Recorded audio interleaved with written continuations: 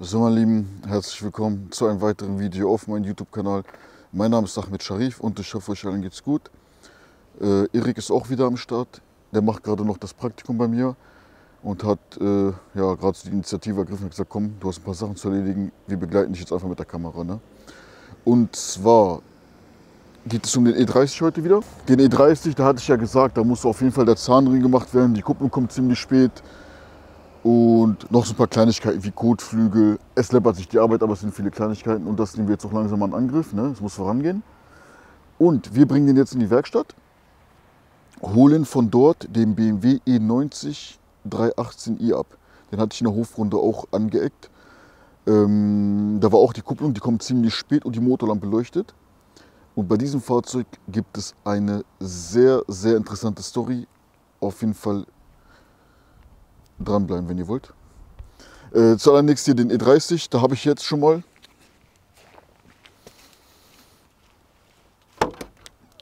Zahnriemen Wasserpumpe neu. Kupplungssatz wird jetzt auch neu gemacht. Äh, alle Ke diese Keilrippenriemen, ich weiß gar nicht, was das hier ist. Ah, das ist die Wasserpumpe. Batterie habe ich schon neue reingemacht, weil die war ja am Ende. Und ja, den bringen wir jetzt dahin und nehmen dann den E90 mit. Dann würde ich sagen, erzähle ich euch, was beim E90 abging. Und das, war wirklich, das ist wirklich eine sehr heftige Kundenstory. Was heißt sehr heftig? Aber auf jeden Fall eine sehr interessante Story. Auf jeden Fall nicht nachmachen. Und dazu gleich mehr. Ich würde sagen, ich mache die Kennzeichen drauf. Ich mache die Tür auf, weil die Bolzen sind noch kaputt. Das gucken wir uns auch nochmal gleich genau an, weil alle sagen, das kann man reparieren. Ich bin der Meinung, das ist richtig abgerissen. Hat doch neue Batterie bekommen. Jetzt funktioniert auch die Zentral wieder. Also das gucken wir uns jetzt noch gemeinsam an. Und ansonsten geht es rüber in die Werkstatt. Ich habe auch gar nicht mehr wieder geguckt. Nee. Mein Fehler. Das scheint wirklich von unten auch eine Schraube zu sein oder so. Scheint von hier unten, wer Ahnung hat. Also guck mal hier unten, ich hatte gedacht, das wäre abgerissen. Ne, der Bolzen ist auf jeden Fall abgerissen. Ist das hier unten eine Schraube oder ein Bolzen, den man austauschen kann? Oder ist das fest mit dem Teil hier? Aber ich glaube, das ist jetzt ein Bolzen, so wie ich das gerade sehe. Ja, dann kann man das bestimmt ersetzen. Waren gerade noch Kunden da, beziehungsweise sie gucken hier ein bisschen. Springt wunderbar an. Ich hoffe echt, dass mit der Kopfdichtung nicht ist, weil das würde ich auch überprüfen lassen. Aber guck, okay, die kommt, kommt am Ende. Kommt komplett spät, ne? Ähm, ja, Batterie ist schon neu drin. Das funktioniert. Wenigstens etwas. Äh, ja, ansonsten, wie gesagt, ich werde überprüfen, auch von der Werkstatt lassen. Überprüfen auch von der Werkstatt lassen. Dass die Kopfdichtung auf jeden Fall in Ordnung ist, weil der verbraucht ja Wasser, verliert Wasser, das ist klar. Sonst wäre da keine Wasserflasche im Auto, im Motorraum. Ansonsten ja, wie gesagt, ich habe zwar viel Kommentare gelesen, dass es Schrott wäre oder dass es komplett äh, Fehlkauf wäre und sowas, aber ich bin da immer noch ganz anderer Meinung, immer noch voll. Weil erstens, ich habe Spaß daran, den fertig zu machen. E30 ist ein sehr beliebtes Auto. Es gibt sehr wenige, klar, es ist ein Vierzylinder, es ist ein 316i. Aber auch wenn der vorne einen Unfall hatte, ne, ein Kotflügel oder das Unterteil da vorne, dann ist es halt so. Es gibt wesentlich Schlimmeres. Ich habe mal einen gehabt, da haben wir hinten das Blech rausgeschnitten und neu eingeschweißt. Ja, auf jeden Fall habe ich den eigentlich in einer anderen Werkstatt gehabt. Äh, habe dann natürlich vorher gesagt, was wird mich das kosten? Zahnriemen, Wasserpumpe. Schon mal vorab das machen lassen. Das ist schon mal das A und O, was ich machen will. Ich will zuallererst, dass technisch top ist. Und ja, da war mir das auf jeden Fall zu viel. Also das war zu teuer für mich als Händler. Für den Verbrauch, Autonormalverbrauch ist natürlich angemessen gewesen, aber für mich als Händler mit der Kalkulation war das zu teuer. Habe ich noch einen anderen Kollegen gefragt, da müssen wir jetzt hinfahren. Und da passt es auf jeden Fall. Also damit kann ich auf jeden Fall leben. Sehr fair gewesen, muss ich sagen. Für mich als Händler dann auch noch. Ne? Ja, und ich wollte eigentlich Erik auch ein bisschen interviewen, weil Erik fährt nur E-Auto, ne? dein E-Up fährst keinen normalen Autos, also kein Verbrennerauto und auch kein Schaltgetriebe, ne? Schon mal keine gute äh, Qualifikation, um im Autohandel anzufangen. Aber äh, haben wir gerade eben festgestellt, Ich wollte eigentlich wissen, ob Erik sein Ding, ob hier sowas sein Ding ist, so ein E30 und sowas, weil du bist ja eigentlich eine ganz andere Generation. Und ich war erstaunt über deine Antwort. Du hast ja gesagt, wenn, Dann E30. wenn würdest du dir auch ein E30 holen? Ja. Und wie kommt das? Einfach ein Auto mit Klasse, einfach ein cooles Auto, das hat noch Stil so. Ich weiß nicht, ob ihr ihn hört, aber er sagt für ihn auch ne, einfach ein Auto mit Klasse, mit Stil. Ist Erik seine Meinung dazu. Und Erik ist eigentlich nur E-Auto gewohnt oder fährt auch nur das E-Auto. Ist gar nicht aus dieser Zeit so E30 oder E36, würde ich sagen. Wenn ich das so sagen darf. Ja, Aber das, sowas sagt ihr auch zu, ne? safe.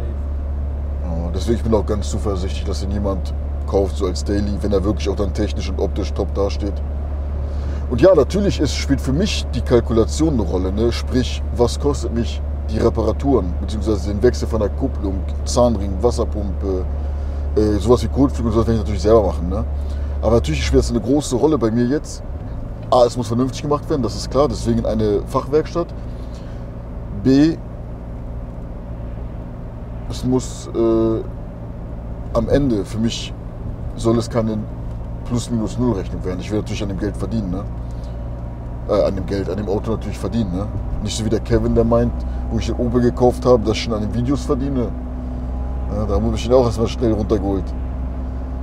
Aber gut. Ja, ich würde sagen, wir chillen jetzt so ein bisschen vor uns hin, Erik, und ähm, ich gucke mal, wie weit wir da filmen dürfen können. Und dann würde ich sagen, werden wir in den E90 steigen. Und dann werde ich euch was zum E90 erzählen, weil das ist wirklich, die Geschichte ist wirklich anders. War aber auch beide, beide Beteiligten haben sich da nicht, wie nennt man das, vorbildlich verhalten oder ja, Kommunikation hat auf jeden Fall nicht so ge- hingehauen. Gut, ich würde sagen, bis später oder bis gleich.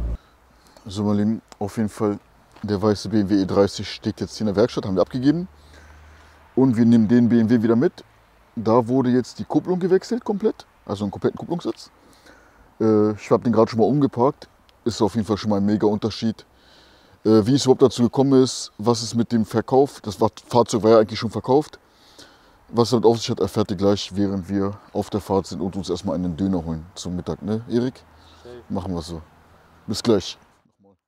So, Friends, wir haben auf jeden Fall das Gelände jetzt verlassen. Ich fahre jetzt mal an.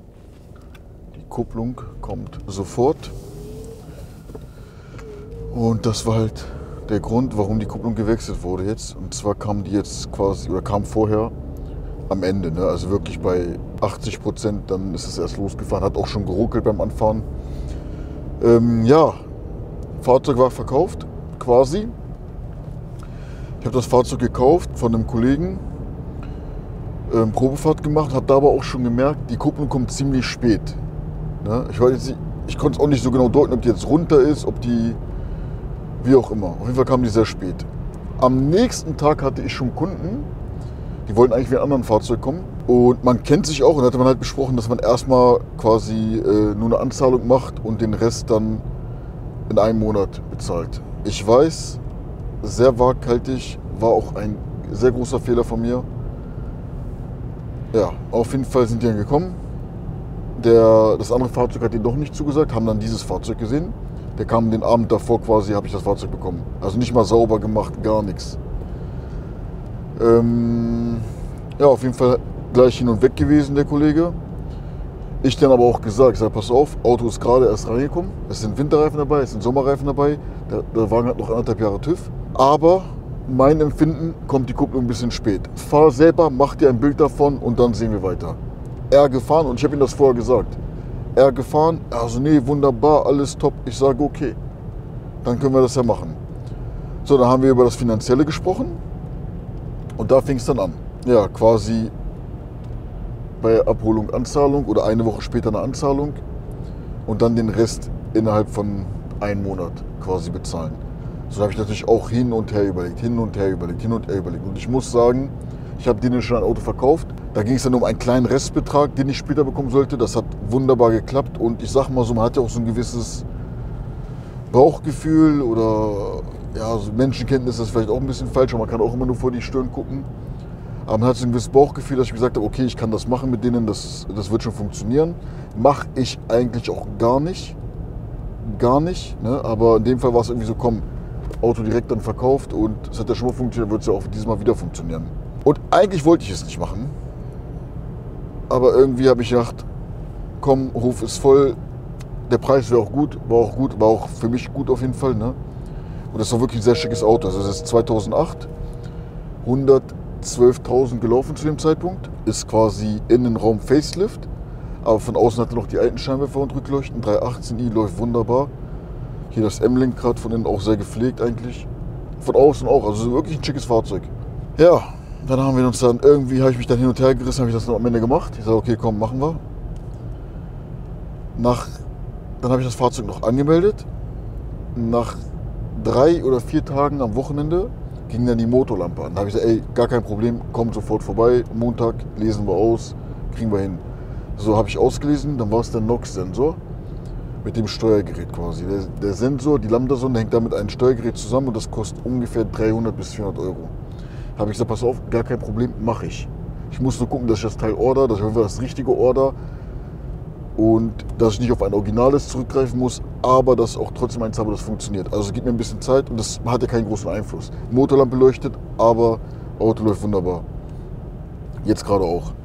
So viel zum Thema, gleich schon vorweg, ich habe es nicht gemacht bis jetzt.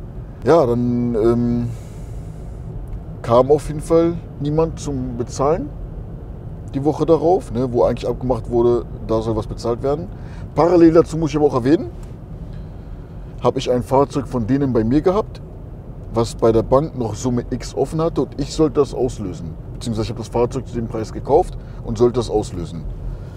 So, dann bin ich aber ein bisschen stutzig geworden, weil es wurde mir gesagt, es ist so und so viel offen. Es war aber weniger quasi bei der Bank offen. Es war kein großer Unterschied, aber es war weniger offen. Da habe ich natürlich auch ein bisschen Angst bekommen, ne? weil wenn ich ihn jetzt auslöse, vielleicht kriege ich aber den Brief nicht, weil das quasi noch über die Mutter finanziert wurde. Und die Mutter kommt von weiter weg und die hat eigentlich gesagt, es ist mehr offen. Bin ich halt auch ein bisschen stutzig geworden. Ne? Da habe ich mir gedacht, okay, pass auf, ich mache das so. Ich löse das Auto erst aus. Für mich. Ich löse das Auto erst aus, wenn ich hier mindestens die Anzahlung bekommen habe. Ich weiß, es klingt sehr verrückt, auch dumm von mir, dass ich das überhaupt so gemacht habe. Aber daraus lernt man ja. Auf jeden Fall deswegen nicht zu Hause nachmachen. Gut, muss aber auch erwähnen, man kannte sich schon und 10 Kilometer entfernt. Also ist jetzt nicht auch so, dass ich irgendwo nach Hamburg oder Bayern oder sowas gemacht habe. Ne? Also alles gut. Habe auch gleich gesagt, wenn ich bezahlt wird, hole ich, das, hole ich die Karre ab und nimm, ne? nimm das mit, ist mir egal. Ja, und Brief habe ich auch einbehalten, bringt mir aber auch nichts. In dem, an dieser Stelle auch nochmal erwähnen. Brief einbehalten bringt nichts, habe ich natürlich dir nicht gesagt, weil der Brief liegt bei mir als Händler. Ich gehe zur Zulassungsstelle und sage, ich habe meinen Brief verloren. Dann kriege ich einen neuen. Da gibt es keine Meldung von wegen, der Brief liegt bei der Bank oder sonstiges. Da ist es, da ist es dann hinterlegt. Bei mir ist es nicht hinterlegt. Und auch ein Kaufvertrag bringt dir da an dieser Stelle auch nichts. Ne? Klar kannst du dein Geld einfordern, aber bringt dir erstmal alles nichts.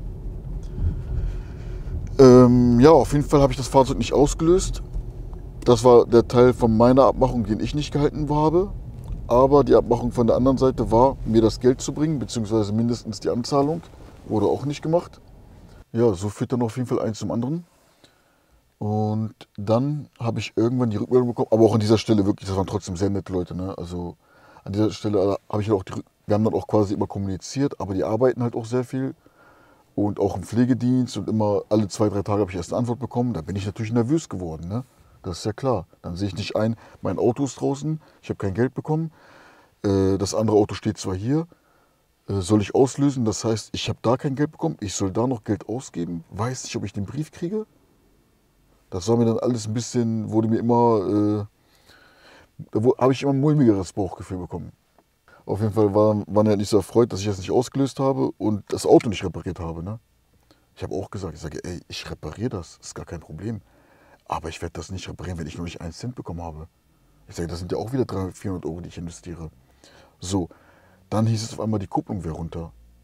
Ich sage, Moment mal, ich habe das erwähnt, dass die Kupplung meines Erachtens sehr spät kommt und ich soll das testen.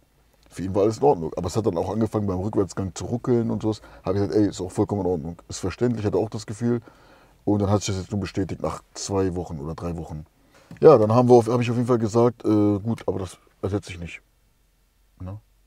Habe ich gesagt, ich sehe das nicht ein, ich habe noch keinen Cent bekommen und die haben es halt nicht eingesehen, für ein defektes Fahrzeug zu bezahlen. Ich habe gesagt, ja, dann sehen wir erstmal weiter. Er sagt, ja, es ist ein Termin bei der Werkstatt und danach werden wir sprechen. Ich sage, alles klar, dann machen wir das so. Dann war ein Termin bei der Werkstatt an einem Mittwoch und ich habe Donnerstag immer noch keine Rückmeldung bekommen.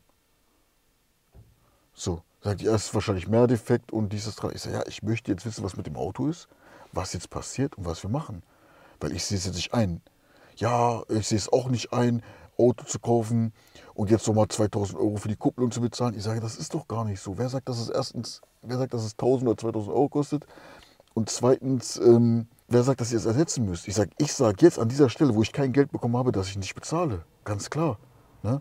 Hab natürlich auch das andere Fahrzeug nicht ausgelöst. Dann hat es halt dazu geführt, dass ich sage, pass auf, ich habe die Schnauze voll. Es ist jetzt genau ein Monat vergangen. Habe ich äh, Jonas Abi genommen. Ich sage, Jonas, komm, wir drehen eine Runde. Also okay, ich sage, komm, ich muss was abchecken, Alter. Es geht um das Auto, so, so, so. Ich habe ein bisschen Mist gebaut, das war richtig dumm von mir. Ich sage, wir müssen das Auto jetzt entweder wegholen oder schon mein Geld da weg. Eins von beiden. Ne? Wir dann da hingefahren. Ja, komm mit. Also meinst du, ist das eine gute Idee? Ich sage, nee, das wirkt so ein Eindruck, den wir eigentlich gar nicht erwecken wollen. Ne? Jonas dann im Auto geblieben, geblieben. Ich reingegangen, geklingelt, reingegangen. War mir auch egal, welche Uhrzeit, welcher Tag. Ich habe gesehen, beide Autos stehen, ich bin einfach hingegangen. Habe gesagt, hier so, so. Ich sage, Mittwoch war, die, war der Termin, wir haben es heute Samstag. Was ist denn nun? Ihr sagt, es ist mehr kaputt, was ist denn nun mit dem Auto? Ja, die Lambda-Sonde und die Kupplung. Ich sage, ja, okay, das weiß ich doch. Ja, wir können nicht das Auto bezahlen oder noch die Lambda-Sonde und die Kupplung machen. Ich sage, das habe ich nie gesagt. Ich habe Lambda-Sonde, habe ich gesagt, repariere ich. Sofort, als es defekt war, habe ich gesagt, ich repariere es. Ich sage, nach drei Wochen oder zwei Wochen höre ich, dass die Kupplung runter ist und ihr bezahlt mir mein Geld nicht. Warum soll ich die reparieren? Ich sage, bezahlt mir das Auto jetzt und wir reden über alles. Ich sage, das kostet nie im Leben 500 Euro, kostet das nicht. Also mich. Ich sage, das kann ich doch machen. Ich sage, aber ich kann nicht handeln, wenn ich noch nicht einen Cent bekommen habe. Das geht nicht. Und wenn die Kommunikation alle zwei, drei Tage erfolgt, dann, ey, warum soll ich das andere Auto auslösen? Ich fühle mich voll verarscht. Ja, und wir auch, weil du das Auto nicht reparierst. Ich sage, ich sehe das Auto noch nicht mal. Ich höre nichts von euch. Das geht doch nicht. Ich sage, bezahlt das Auto, gib mir das Auto, ich repariere alles. Und fertig. Dann ist doch alles gut. Ich sage, entweder kriege ich jetzt, aber alles im Ruhigen haben wir alles vernünftig geklärt, war auch wirklich angenehme Situation, also angenehme Stimmung. Ich habe gesagt, entweder nehme ich jetzt das Auto mit oder ich kriege jetzt das Geld. Ja, das Geld habe ich jetzt noch nicht. Ich sage, okay, dann nehme ich jetzt das Auto mit. Also alles klar. Ich sage, fertig. Gib mir beide Schlüssel, Sommerreifen einladen. Ich nehme das Auto mit. Ja, ich komme nicht zur Arbeit. Ich sage, das ist nicht mein Problem. Ich sage, da musst du gucken. Ich sage, wenn du willst, kannst ein anderes Auto von mir haben, ein günstigeres Auto, wenn du das bezahlen willst, musst du aber nicht. Ich würde auch das Auto dann, was ich ablösen soll, auslösen. Und ihr könnt von mir ein anderes Auto günstig erwerben, wenn es an dem Geld liegt. Ja, okay, machen wir so, machen wir so. Ich komme dann morgen vorbei oder Montag spätestens. Dann machen wir alles schriftlich und voll machen wegen Anmelden. Ich sage ja gar kein Problem. Dieses Auto wird abgemeldet und fertig. Und es ist wieder mein Auto. Wobei es war die ganze Zeit eigentlich mein Auto war auf jeden Fall sehr großer Fehler von mir. Wird auf jeden Fall nicht mehr vorkommen. Ich kann beide Seiten auch verstehen. Ich kann natürlich auch verstehen, wenn ich das Auto nicht instand setze, dass sie es nicht bezahlen wollen. Aber das ist eigentlich meiner Meinung nach eine billige Ausrede, weil ich habe gesagt, ich mache das, aber ich will das Geld haben. Natürlich, wenn das, das und das kommt, sage ich, ich mache gar nichts mehr, weil ich halt noch kein Geld bekommen habe. Ich will auch Druck ausüben auf irgendeine Art und Weise. Ne? Gut, weil mir war es auch lieber, dass mir das Auto einfach zurückgeben, weil das sind Werte. Das sind Werte, das ist Geld. Ne? Und das ist ja mein, mein Recht. Klar haben die auch ein Recht auf Reparatur, aber nicht in so einem Fall. Ja, auf jeden Fall, ähm, dann haben die mir auf jeden Fall abgesagt wegen dem anderen Auto. Und dann war ich natürlich auch pissig. Ne? War natürlich auch meine Stimmung hier. Die haben das Auto einen Monat gehabt. Ich habe die Anmeldung bezahlt. Es sind ca. 1000, es war 112, jetzt steht 114. Die sagen, ich habe gesagt 2000 Kilometer, die sind 1000 Kilometer gefahren. Das Auto muss natürlich komplett aufbereitet werden. Es ist ein Halter mehr drin. Ja, und natürlich die ganzen Bauchschmerzen bis dahin, ne? Was natürlich auch alles gut, was auch meine Schuld ist, aber nicht in so einem Ausmaß, dass ich, habe ich natürlich gesagt, ich will Schadensersatz haben, ne? Es ist ein Halter mehr drin, ihr habt einen Monat gefahren. Klar habt ihr das andere Auto die Rate auch noch bezahlt, aber das andere Auto hat gestanden. Ihr habt ja mein Auto genutzt, quasi. Ich habe nicht mal das Geld bekommen für die Anmeldung oder Abmeldung. War mir dann noch irgendwann egal. Ich habe irgendwann, habe diskutiert hin und her, hin und her. Habe ich mir gesagt, weißt du was? Komm, äh, ich mache die Abmeldung sofort Hätte ich aber auch sowieso gemacht. Das habe ich auch gesagt. Ne? Erstmal habe ich natürlich gesagt, ich melde nicht ab, solange ich das nicht bezahlt kriege. Da habe ich gesagt, weißt du was, komm, ich melde die Karre ab. Ich bringe euch euer Auto nach Hause auf den Hof, schmeißt euch alles in den Briefkasten und das war's. Fertig. Ich sage, ich habe gar keinen Bock auf sowas. Ich sage, ich streite mich mit euch hier rum. Für was denn? Ich sage, das ist erstens nicht meine Art. Zweitens habe ich gar keinen Bock darauf, gar keine Nerven. Ich bin froh, dass ich mein Auto wieder habe. Und fertig. Der wird jetzt schick gemacht. Dann Kupplung haben wir gewechselt. Wunderbar. Hab mich wirklich, ich habe den Kupplungssatz gekauft und ich habe einen Spottpreis bekommen. Was heißt Spottpreis? Ich habe auf jeden Fall einen sehr fairen Preis bekommen mit Rabatt als Händler. Und jetzt machen wir noch das mit der Motorlampe. Und also ist es wirklich Top-Auto, Scheckef gepflegt. Ja. ja, in diesem Sinne, zieht auf jeden Fall auch eure Lehren daraus. Wie gesagt, das war mein Fehler. Ist eigentlich auch aus der Erfahrung heraus ein dummer Fehler gewesen. Ähm, aber gut, ne, man hat sich halt irgendwie verstanden. Man hat sich auch darauf verlassen. Wird aber auf jeden Fall so und in diesem Ausmaß überhaupt nicht mehr vorkommen. Aber klar, wenn jetzt einige sagen, wie kann man so blöd sein, dieser Trailer, ihr müsst natürlich auch die Situation des Händlers verstehen. Ne? Der Händler hat Werte da stehen, Autos, Geld ist investiert, Platz ist voll, es ist Dezember. Klar will man verkaufen, wenn das Geld dann ein, zwei, drei Wochen später kommt. In dem Fall war es halt so, dass man das Auto einfach schon vorher rausgegeben hat. Das war halt der Fehler. Und die Frage ist halt, hätte ich das alles repariert, hätte ich noch mehr Geld investiert, hätte ich mein Geld bekommen? Das war natürlich auch dann meine, meine Bedenken dahinter. Ne? Ja, dann war mir das auch mit der Ablösung von dem anderen Fahrzeug viel zu kompliziert, weil die Mutter ganz komisch war. Die hat dann auch, ich habe dann E-Mails bekommen von der, von den Verkäuferinnen von dem Fahrzeug, aber es finanziert über die Mutter, habe E-Mails bekommen, wo die sich gegenseitig streiten und gesagt wird, es wird die Polizei alarmiert. Aber nicht auf mich bezogen, sondern auf die sich gegenseitig, wo das Fahrzeug ist, warum das nicht abgemeldet, warum das abgemeldet ist und was mit der Finanzierung ist. Also ganz verrückte Sache. Aber gut, das ist nicht unsere Sache. Ähm, ja, ich hoffe, das Video hat euch gefallen. Bisschen verrückte Story. Ähm, wir holen uns jetzt was zu essen, Erik. Ne? Und ja, an dieser Stelle, ihr wisst alle, was zu tun ist. Bleibt alle gesund esst ab und zu mal einen Döner, trinkt viel Wasser und dann sehen wir uns auch im nächsten Video. Bis dann.